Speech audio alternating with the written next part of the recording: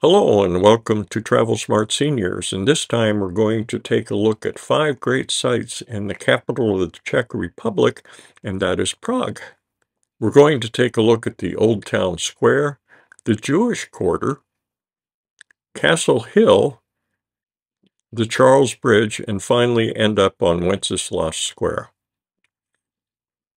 I will put chapter markers in the video so that you can jump to whatever part of the video you want to see. Prague is the capital of the Czech Republic and it's surrounded by Germany, Austria, Slovakia, and Poland. We'll begin our visit at Prague's Old Town Square, and it's one of the most famous and historically significant public squares in Europe. It is the site of the world famous astronomical clock, and we'll see that later. This is a memorial to Jan Hus, a religious reformer who challenged the Catholic Church's authority and was burned at the stake as a heretic in 1415. As we look around the square, we see the very diverse architecture, including Romanesque, Baroque, and Renaissance.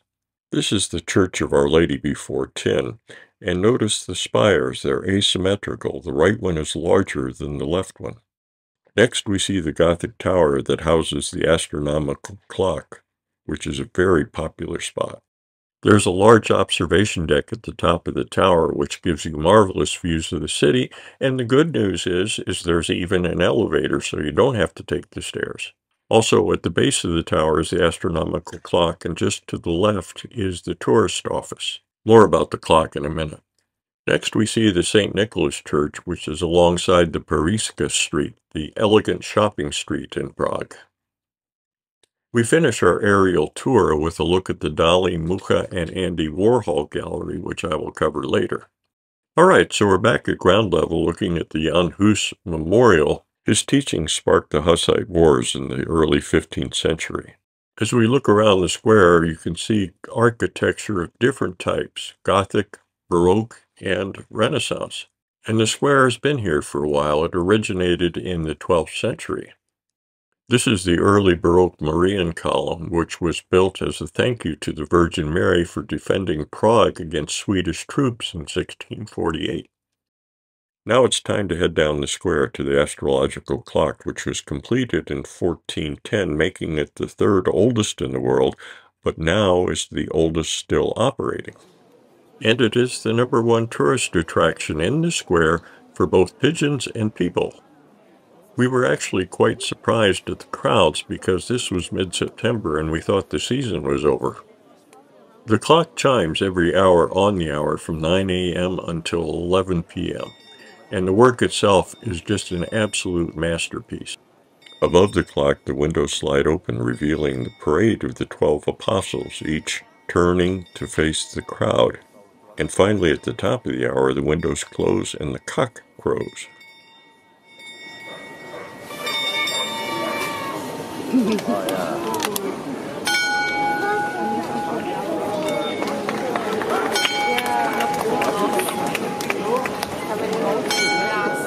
The amount of information you can get from the upper dial is just absolutely astounding.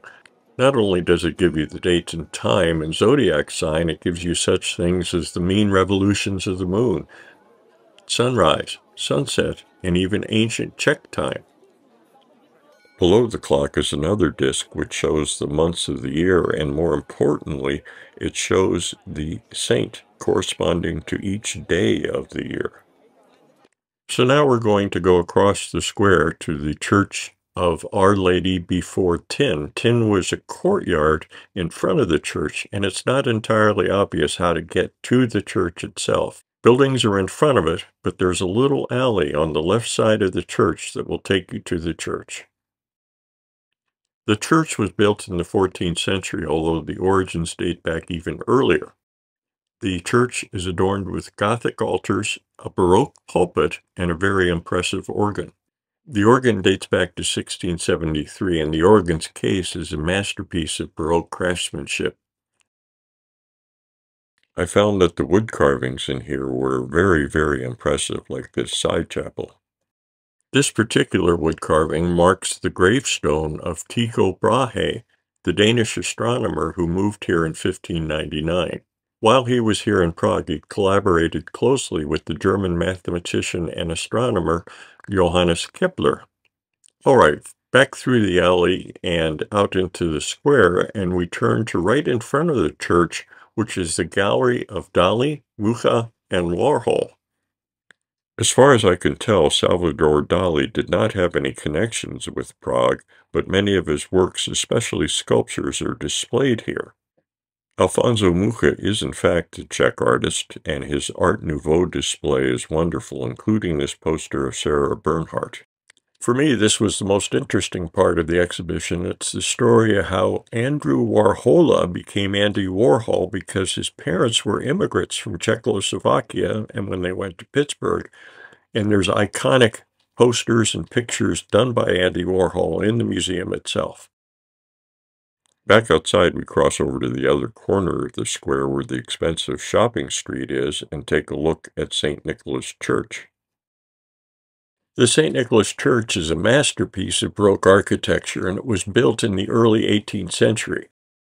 Many of the paintings, and especially the altar, depict the life and times of St. Nicholas. This organ was played by Wolfgang Amadeus Mozart during his stay in Prague. All right, that takes care of the central square. Now it's time to turn our attention to the Jewish quarter. The Jewish quarter is right down Pařížská Street, the luxury shopping street, and we're going to go to the Staronová Synagogue, which is the oldest active synagogue in Europe. The Jewish quarter is called Josefov, and it's named after Emperor Joseph II, whose reforms improved the conditions for Jews in Prague. Historically, the area was a ghetto, but it's developed into a vibrant center of Jewish culture and religion. It is a very popular tourist destination, and the quarter is associated with Franz Kafka, who has a statue dedicated to him near his childhood home. We start our tour at the Staronová Synagogue, which is actually the old new synagogue. Was built around 1270 and is the oldest surviving synagogue in Europe that still serves its original purpose, you get a good sense of the age of the synagogue when you enter it and see the rather austere, very thick stone walls and arches. The bima, or platform, is located in the center and it's surrounded by an iron grill, and the Torah ark is positioned along the eastern wall. The arch ceilings are absolutely gorgeous, and this is really a must-visit place to get a sense of Jewish history in Prague. Next, it's just a short walk to the ceremonial hall of the Prague Jewish Burial Society. It doesn't serve its original function anymore, but it has been preserved as a historical and cultural site. So it has a lot of exhibitions related to Jewish burial customs, the history, and the broader history of the community in Prague. You can see the adjoining Jewish cemetery out of one of the windows, and I highly recommend you get some information about the Jewish burial process before going into the cemetery. So let's go into the old Jewish cemetery and walk around a little bit. The cemetery is one of the largest Jewish cemeteries in the world, and it was established in the 15th century, the early 15th century. And because of limited space, the cemetery became overcrowded and the bodies were often buried in layers with as many as 12 layers in some areas. This practice gives the cemetery its distinctive appearance with densely packed, uneven rows of gravestones. There are about 12,000 visible tombstones, although the number of burials, of course, is much higher.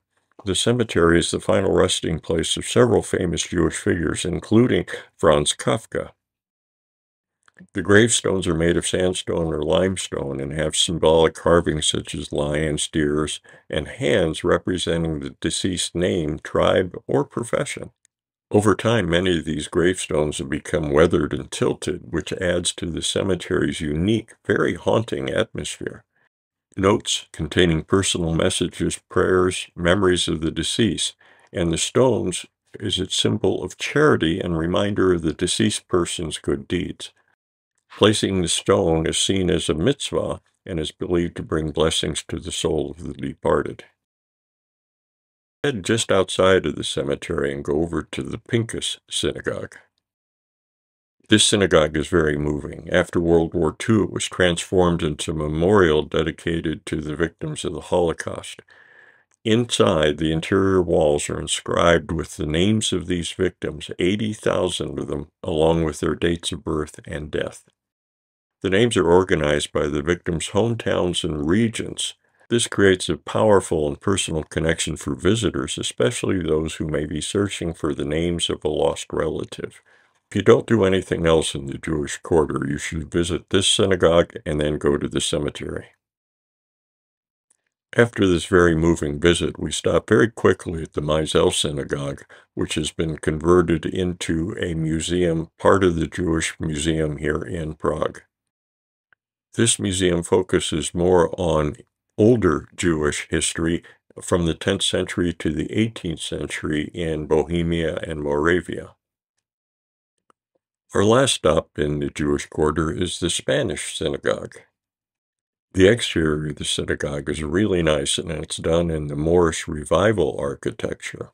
Interestingly enough about the synagogue, it has an organ in it, which is uncommon in synagogues. There are often concerts held here to showcase the organ and the acoustics of the interior. The synagogue itself is yet another extension of the Jewish Museum here in Prague. Well, let's head up to Castle Hill. It's an absolutely wonderful place to get terrific views of the city, but it is uphill, so I recommend that you take a tram up there. And then it's an easy walk back down. You can catch the tram at the National Theater, and you can ride either 22 or you can ride the vintage tram 42. Either one of those will take you all the way up the hill. Both trams take a scenic route up the hill and go behind the castle, and there will be two stops, one at the Belvedere and another one right after that. If you want to walk through the gardens, then you get off at the Belvedere stop, otherwise wait for the second stop. From the second stop, it's an easy walk straight into the castle. We got off at the first stop and took a walk through the gardens. This was in September and the gardens were in really good shape, and I do recommend that if you have the time to go ahead and walk through the gardens. After the gardens, you come across a scenic overlook, which gives you a very good view of the back of the castle. Then you can cross the bridge into the castle itself. This is the top-down view, and you can see here where you enter the castle grounds. As I said, this is September, and we were surprised at the number of people we continued to see. The entrance is guarded by some very formal guards. This is the second of four courtyards here at the castle itself, and in the center is Kohl's Fountain. This dates back to 1686 and once served as a source of water. From here we go through the archway past the imperial stables and stand right in front of St. Vitus Cathedral. Construction on the cathedral started in 1344, but it really didn't finish until 1929, which was the thousandth anniversary of the death of King Wenceslas. This is the largest church in the Czech Republic. Historically, the church was the coronation church for Czech kings and queens, and many Czech monarchs are buried here. The nave of the cathedral is really impressive. It's over 400 feet long and nearly 110 feet high. The ceiling consists of ribbed vaults, which is characteristic of Gothic cathedrals, but these were very innovative and influenced other cathedrals throughout Europe. This is the St. Sigismund Chapel, a 6th century martyr, with beautiful stained glass that depicts scenes from his life. Here is another beautiful side chapel, which is the St. Anne Chapel and is dedicated to the mother of the Virgin Mary, St. Anne. You absolutely must see the Chapel of St. Wenceslas. It's the most impressive part of the cathedral, and it's where you can find relics of the saint himself. The lower walls are encrusted with precious stones that tell the story of the Passion of Christ, while the upper walls depict the life and times of St. Wenceslas himself, and we'll talk more about him later. So we exit the cathedral into the third courtyard and turn around and look back at the church. Here we see the golden portal, which was the main entrance to the cathedral and was reserved for royalty. It has a mosaic called the Last Judgment, which dates back to the 14th century, and it's a rare example of medieval mosaic work. Then as we look up, we see Zsigmond's Tower, which houses the largest bell in the Czech Republic, and you can climb the tower by stairs. The rest of the square contains the requisite statue of St. George and some museums that you can go into if you wish. Well, the statue of St. George is there for a reason, for behind the cathedral is St. George's Basilica. Next door to the basilica is St. George's Convent, which has been transformed to an arm of the National Gallery and is also worth a visit. The basilica is one of the oldest and most significant buildings in the castle, and it was founded in 920. It features a flat wooden ceiling, minimal decoration that highlights its Romanesque origins. The altar is extremely simple, keeping with the theme of the church, and it's elevated, looking over the rest of the church. There are several side altars in the basilica that are dedicated to various saints, including Saint Ludmila, who's the grandmother of Saint Wenceslas. Next, we walk down past the Rosenberg Palace to a, well, a shopping area, shall we say, with lots of people and lots of shops and places to buy things and souvenirs. This wraps up our tour of the castle, so we retrace our steps to the first courtyard and go out in front of the palace itself. This is the main entrance to the castle, which is guarded by the famous Prague Castle Guards. They are a ceremonial unit responsible for guarding the residence of the Czech president. There is a changing of the guard every hour, but at noon there's a big production with a full troop and band, which you can see in the windows of the castle. Here's the front of the castle, and it offers spectacular views of the city. And because we took the tram up, we're going to walk back down, and it's a fairly easy walk. We walk over to the ramparts for a beautiful view of the city and the rampart gardens just below the walls. It's a really easy walk down, so you don't have to worry too much, and all the way down you just get these wonderful views.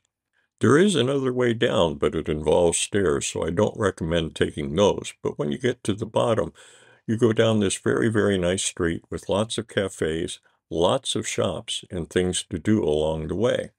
And again, it's a gradual walk down the hill. On the way down, we went by a marionette store, and they sell marionettes and puppets, and go in to take a look at the wonderful display that they have. You may also encounter a shop selling tridlo, which is a well, really, it's the Czech version of a cinnamon roll, and it's on these spiral rolls roasted over an open flame. Well, we're done with Castle Hill, and we're going to head towards Charles Bridge, but before we do, we want to stop by the John Lennon Wall. The wall began as a tribute to John Lennon shortly after his assassination in 1980. It was a site for graffiti and artwork inspired by Lennon's message of peace.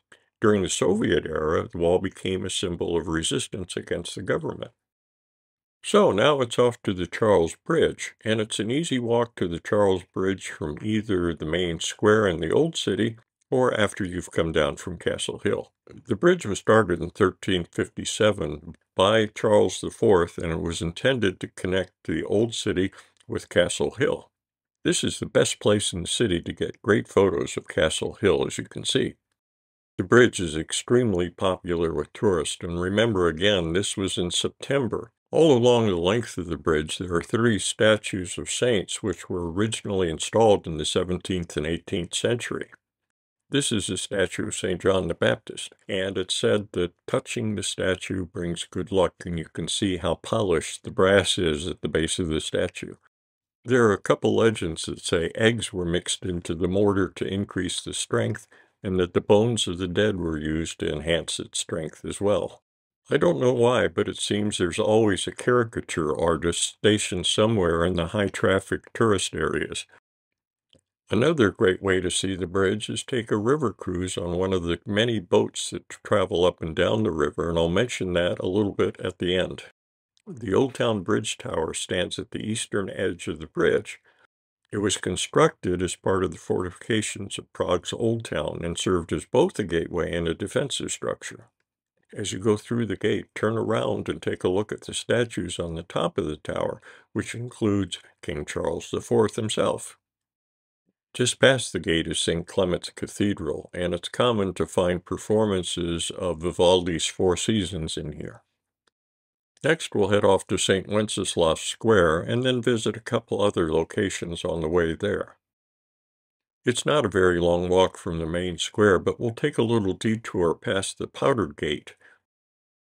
So from the main square, you just walk up Celetna Street, and that takes you to the Powder Gate.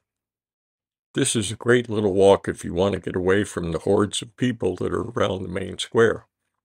We go first by the Estates Theater, which is a performing arts theater. It's been running continuously since 1783. It has opera, ballet, and other dramatic works.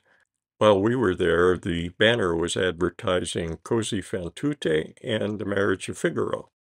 This is a really nice and peaceful walk because everybody's down at Charles Bridge or the main town square, but it's uh, got a lot of architecture and nice places to see. So we turn and see the Powdergate Tower, which was completed in 1475.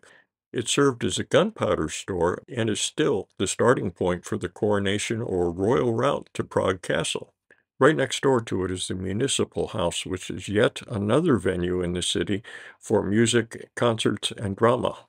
Okay, from the tower, it's a very short walk down to the end of Wenceslas Street, which is surrounded by some modern buildings, but it opens up into a great big pedestrian zone that is a great place to walk and even stop and have a bite to eat.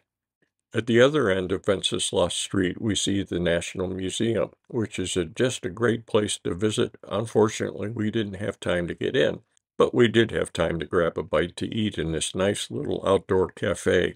So we sat down and had a beer and a bite to eat and just enjoyed watching the people go by.